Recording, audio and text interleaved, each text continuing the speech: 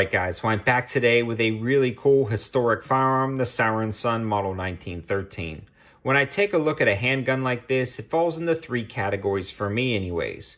A purely historic collectible piece, a collectible piece that's also functional, or a surplus handgun that has modern day uses still to this day because it was designed so well and it functions great.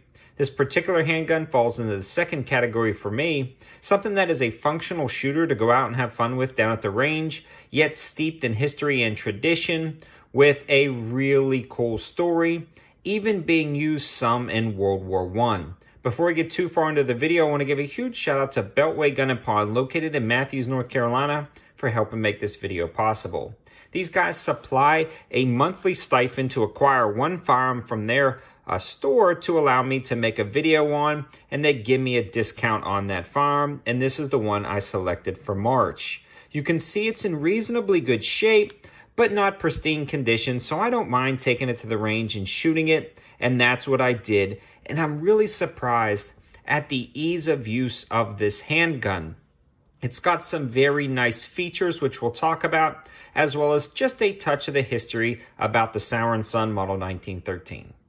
The handgun itself started with the first generation and it had some interesting design features. Unfortunately, I don't have one of those to show you, but it actually had a magazine disconnect safety that once you inserted the mag again, you actually had to press a button. The sight itself was in the rear knurled knob and the later generations moved the sight outside here and it also doubles as a locking tab to rotate this and unscrew for disassembly. That's a really nice feature, and that toolless disassembly really brings it to the modern era, even though we're talking about the Model 1913. The safety is located on the side and is very easy to use, and overall it's very ergonomic and easy to hold on. Now, some different variations between the the Generation 2 and the Generation 3 are a little bit more subtle, but this is the Generation 3, uh, definitely dated by its serial number located right here. Now, if you're looking at the Generation 2, that's most of the time what ended up used in World War uh, World War One. Now, that's not necessarily a service pistol, but officers were allowed to buy a pistol, and this was one of the ones that was on the approved list that they could buy, and then it would become, I guess, in the inventory of World War One. So these were used selectively in the service by German officers. So that is pretty cool, especially if you can grab one of the generation or version 2 versions of this gun with those proof marks.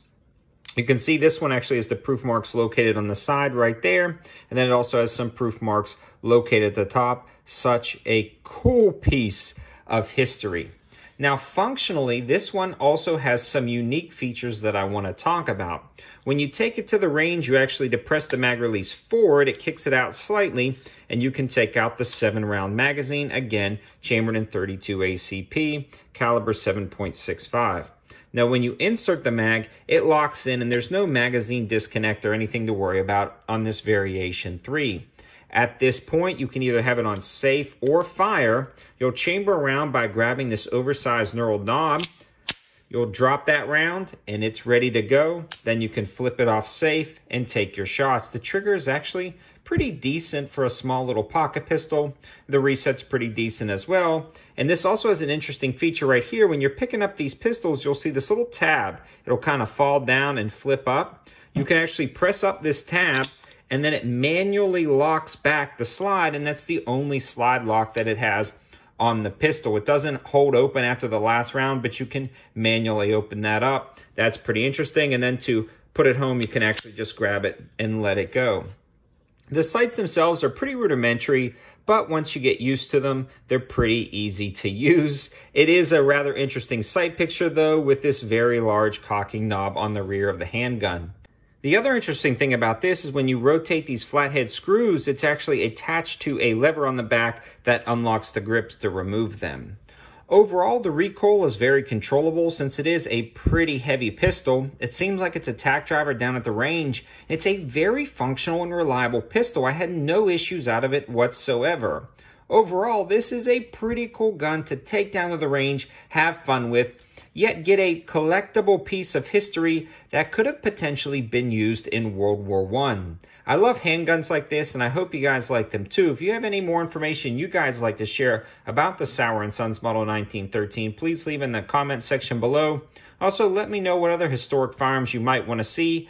Beltway Gun and Pawn is a great place to grab those. They're always getting in new and used, uh, different types of firearms, but definitely they've got a cool selection up at the front right corner of their shop of military surplus weapons, and this was in there, so I had to grab it. Also, if you tell them 704 Tactical sent you over, Beltway Gun and Pawn will give you 10% off a purchase in their shop. They also have a ton of ammo in stock, so if you happen to swing by in Matthews, North Carolina, check those guys out. Tell them 704 Tactical sent you over. Thanks for watching, guys. Have a good one.